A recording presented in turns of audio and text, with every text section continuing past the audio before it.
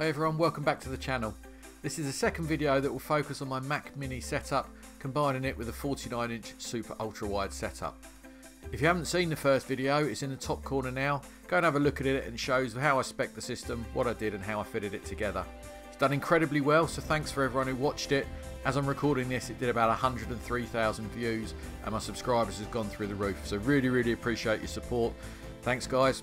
This one is a bit more different. It's kind of a four to six weeks in and how I'm getting on with the Mac Mini setup and things that I need to change. And yes, there is some stuff that I need to change to really improve the setup. So have a watch and uh, let me know what you think. Thanks. So my first video generated an awful lot of questions about the refresh rate and the resolution that I was able to achieve. As you can see here, the refresh rate is 120 Hertz that's the maximum I can get it to go to and I think that's all limited by the Mac rather than the, the screen or the monitor. Resolution's not quite as easy so I've connected um, the Mac Mini to the monitor via HDMI and I think I'm getting 4K res. It's certainly not any higher than 4K but obviously Mac don't display that in a traditional sense and the resolution that they tell me is, is there on the screen now which is more about how it fills the screen and what it does. So just to kind of highlight that and demonstrate some of the stuff, we'll switch between the Hertz rates. So we'll drop down from 120 Hertz down to 60 Hertz. Um, truthfully, we'll do it on a static screen, so it won't really make a lot of difference. But as you can see, um, that function's available to you. You also have the ability to engage the high dynamic range. I have to say, as I click it on and off, all it really seems to do for me is dull the screen down or take the edge off the colour. So maybe I'm missing something there, I don't know, but it doesn't really seem to do a lot, so I haven't, haven't messed about with it too much.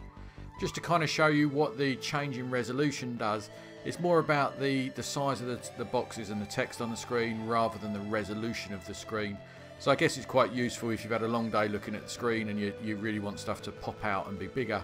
But other than that, I haven't really noticed too much change. There you go, just with it on the full screen there, just so you can see the, the size change that it makes. And then finally in this section, we'll just talk a little bit about the colour options. Don't really know where these have come from, but as you can see, between as I flip between the two, um, it changes the colour a little bit. Certainly the lower setting, whatever that stands for, just kind of really makes the, the colours pop out. Um, and I guess it's just individual preference just show you a little bit on a video here. Obviously it's an awesome video, but I, am only doing it to show you the colour changes, nothing more. Um, yeah, I, I, wouldn't get hung, too hung up on it. The colours and the, and the image itself are, are pretty good and, and certainly operating in 4K. So now we really come on to the kind of setup and why I've got that 49 inch super ultra wide screen. As you can see here, got an awful lot of windows or screens open. Kind of shows the real estate that you've got available to you and I suppose the processor power a little bit here. We'll just switch the maps down to satellite view. No issues, no lag, doesn't struggle with it at all. Zoom in, uh, and again, no real issues or, or, slowness from the processor at all. Next to it, you've got a live trading graph open, YouTube open in the middle. We've got a Word document on the on the right there with the um, the images, and you've also got the radio playing in the background as well. So actually, um, quite a lot of things open, and you can just kind of make them fit and move around as you see fit. I have to say it's very rare I have this many windows permanently open on the screen, um, but it kind of shows you what it can do and, and the value of this setup if it's something you need. And again, just to kind of stress the uh, the ability of the computer and the screen. So this YouTube in full screen mode, as you can see, it projects it quite wide, but it doesn't stretch it all the way out to the edges of the, the 49 inches.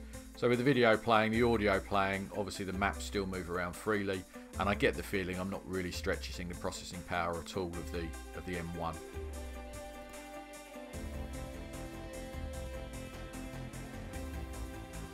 And then I suppose a few people would be quite interested, just opening Final Cut Pro here, just to kind of show you how the layout and the size, I mean it, it does make video editing a dream actually. Um, an awful lot of real estate to play with, timeline is huge and you're able to do some of them finer edits that you want to do. Um, that's not even with it being in the full screen. If you click it to go full screen, it, if anything for me, it's a bit too far apart, um, and I prefer it on the smaller screen. But generally speaking, I have to say I'm really kind of happy with how it's worked out, certainly for video editing and for looking at things on the screen. It's been better than I'd, I'd expected it was going to be.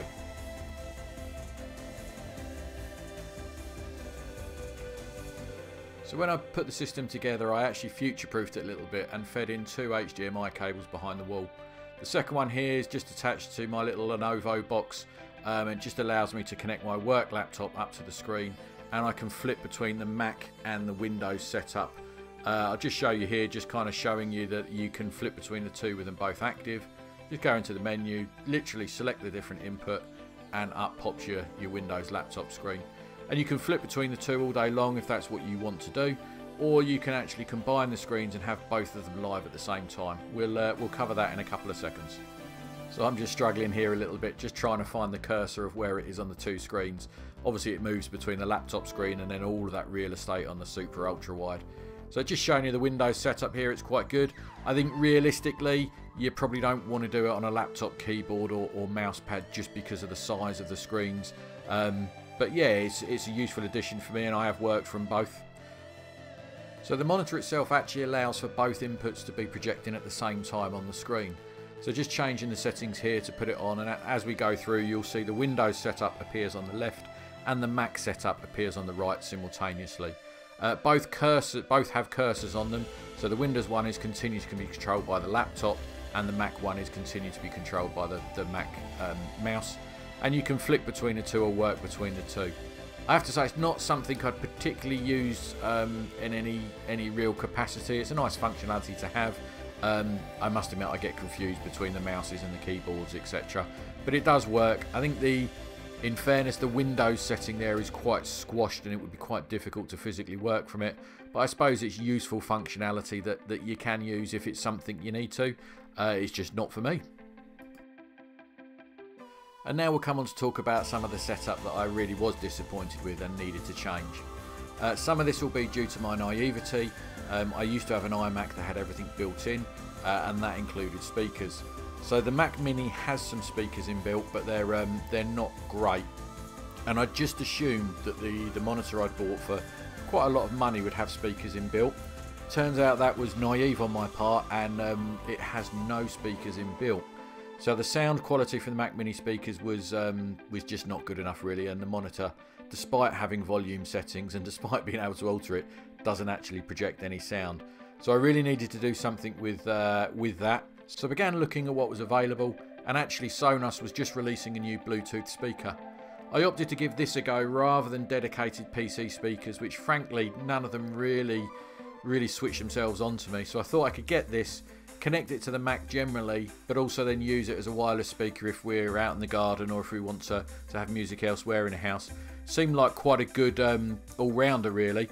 Um, it's a delicate, well, it's a little speaker, but it's not delicate. It's actually IP67 waterproof, uh, and you can take it out. And certainly the, the Sonos promo videos are showing that it's um, quite a rugged little speaker. Um, I liked it because it's quite small, and then we'll go on to the sound quality. But generally speaking, quite impressed with it all.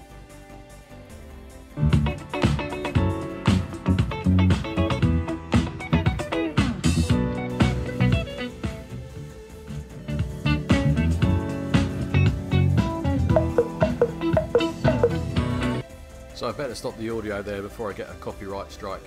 So the speaker itself is quite impressive. I will do a full review on the unboxing of that once I get around to, to editing it. And uh, once I do that, there'll be a pop-up banner just above now that you can click on and see that if you're interested. Um, I also went ahead and bought the uh, the wireless charging station there. As you can see, it just sits nicely on it, keeps it keeps it nicely charged, meaning that it'll always be ready to go. Beautiful day in Bel Air, and we are in Just wanted to show the quality of sound really from a um, slightly higher end YouTuber than myself, um, but it kind of shows the uh, the quality of the speaker look, I can't I can't speak highly enough for it. It's good, it's robust, it's portable, um, and I just needed to factor it decently into my setup, which is what I did. I tried it in a few different places. So you see it sat on the desk there quite nicely. The speaker seems to really shrink down when you turn it on its side. It seems to be really really discreet, but obviously not compromising on the sound. I finally settled for it with the charger on top of the Mac Mini there. The colours match. It seems to kind of nestle there almost as if it was perfectly built.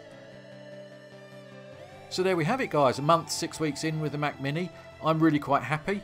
The sound was disappointing, can't get away from that, but the introduction of the Sonos seems to have rectified that. Apple have just launched the new iMacs in April 2021.